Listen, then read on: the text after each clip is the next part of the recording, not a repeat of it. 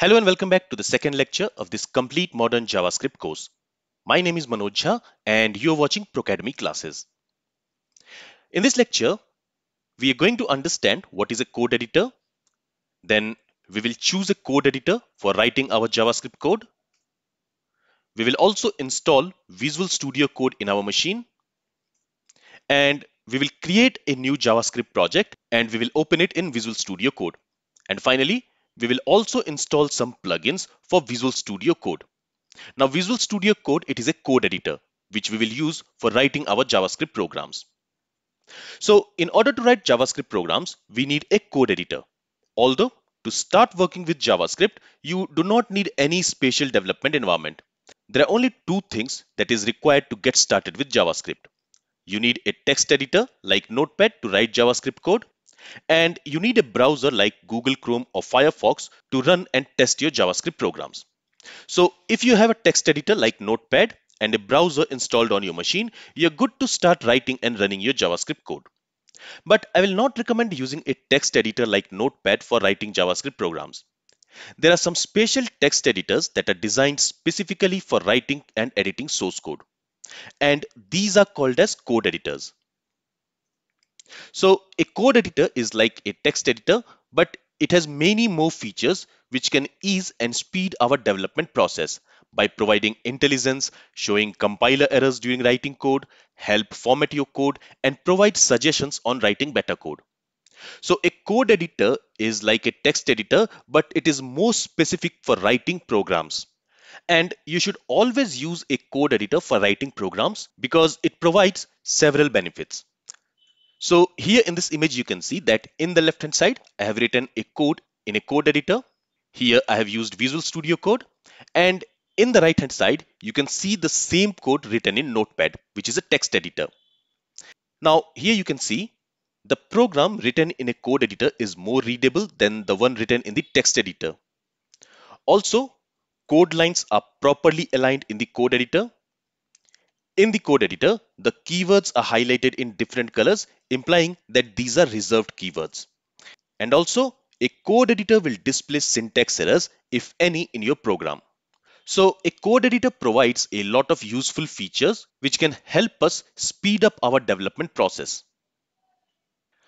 Now, if you have already installed a code editor on your machine, then you can skip this lecture because in this lecture I'm mainly going to install a code editor on my local machine and there I'm going to install some plugins.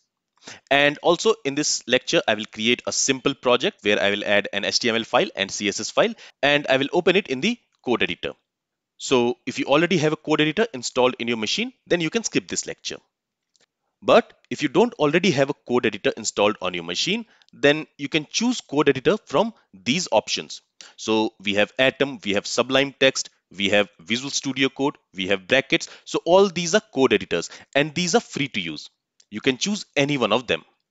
But in this course, I'll be using Visual Studio Code Editor. And if you want to follow along with me, you can also download and install Visual Studio Code as your code editor.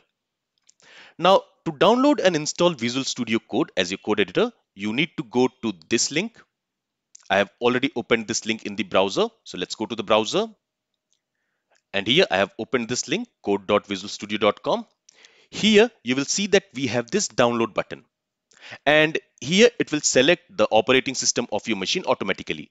If it has not selected the operating system automatically, you can click on this drop down and you can select your operating system.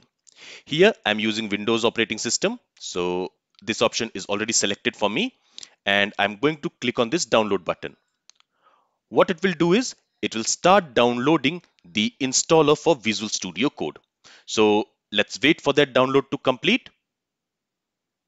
As you can see, the download is finished and Visual Studio Code installer is downloaded. Now what I need to do is I need to open this installer. So I can simply click on that and it will open an installation window. Now here you need to accept the agreement. So click on this radio button and click on next. Then here you can select where do you want to install this code editor. I'm going to keep the default file path here. Let's click next. Then here you can see that this setup will create a program shortcut in the following start menu folder. Let's click on next here. And here I'm going to keep the default settings. Let's click next again and let's click on install. And it will install Visual Studio Code in my local machine. So the installation steps are very simple. You just need to follow the installation instructions and you can simply click on next on each window. Here the installation is finished. Let's click on this finish button. Now VS Code will be opened automatically here. So VS Code is installed on my machine. Now in the next step, we are going to create a new folder, a project folder somewhere in our PC and we are going to open that folder from VS Code. For that, here I'm on my desktop. I'll right click here. Let's click on new folder and I'm going to create this folder and I'll call it JavaScript source. Okay. Inside this folder again, I'll create a new folder and this one I'll call it JavaScript basics. All right, now let's go inside this folder. Let's copy the path or maybe what we can do is we can go to VS Code itself. There we can go to file, open folder. Let's go to desktop. There we have this folder JavaScript source. Let's go inside that. And there we have this folder JavaScript basics. So this is going to be our project folder for this section. I'll select this folder and I'll click on the select folder button. Currently in this folder, we don't have any files. So here I can check this checkbox and I'll click on yes, I trust the authors. All right, now currently in this folder, we don't have any files. So here we are going to create two files, one HTML file and one CSS file. For that, you can click on this button, new file. And here, let's provide a name. Let's call it index.html. Let's press enter and that file has been created. Now we are going to write some HTML here and for now we will simply generate a basic HTML template. For that what you can do is you can press shift 1 on your keyboard and press tab. So it will automatically generate some template HTML for you. Here if you see in the body section we don't have anything but it has created a basic template. Here let me provide a title let's say JS fundamentals and in the body section for now, let's simply add an h2 element. And here, let's say fundamentals of JavaScript. Okay, so here we have created an HTML file. Now the next thing which I'm going to do is I'm also going to create a CSS file and I'll call it style.css. Here for now, I'm not going to write any CSS. But I'm going to link this style.css to this index.html. For that, let's go to index.html. There in the head section, let's add link tag. And there, let's specify href to style.css. Okay, rel will be style sheet. And let's specify the type as text slash css. All right, let's save the changes and just to test it, what we will do is here for the H2 element, let's add a simple style. Let's set the color to maybe red. Let's save the changes. Now let's go to our project folder and there let's double click on this index.html to run it in the browser. And now you can see the HTML which we have written in index.html that has been rendered here. All right.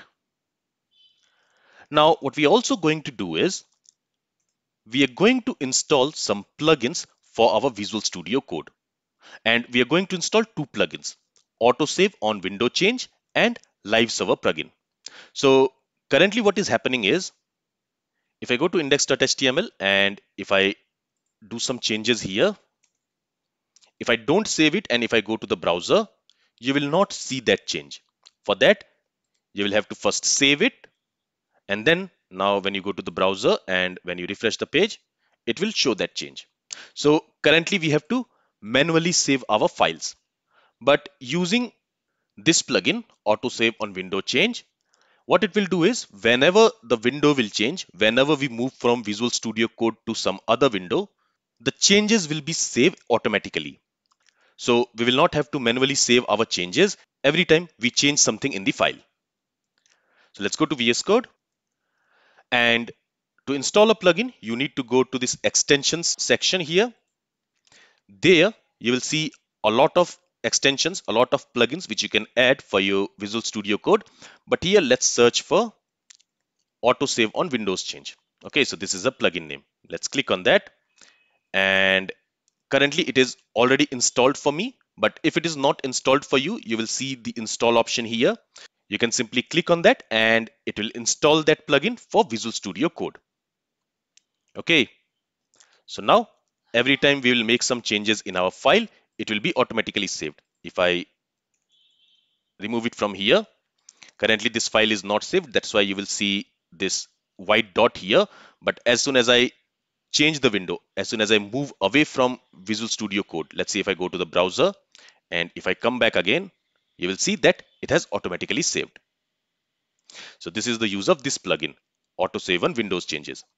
Now the next plugin which we want to install is this live server plugin. And what this plugin will do is it will launch a live development server in our local machine and it will run our index.html file in that live development server. Currently what we did is we double clicked on this index.html file and it opened it in the browser. But here in the URL bar, you will see that it is showing the path of that file, the complete path of that file. But I want to run this index.html file in live development server. For that, let's go back to VS Code and here let's search for live server extension. So here we have this live server extension, click on that.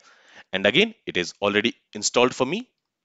But if it is not installed for you, you will see an install option here instead of uninstall. Again, you can click on that button and it will install this extension, this plugin for Visual Studio Code. And now if I go to index.html, there, if I go to view command palette, there you can search for live server. It is already showing me here. So when I will click on this option, what it will do is it will open this index.html file in a live development server. So if I click on it, you see it has opened it in a live development server. And here in the address bar, you can see that this index.html file, our application, it is running on this IP address 127.0.0.1 which is the IP address for localhost and it is running on port number 5500. Okay, so let me close this one and let me also resize this window here like this and let's also resize this window. Okay, now if I do some changes here and if I come to this window, you will see that the changes are automatically displayed. I did not have to save my changes and I did not have to reload the page.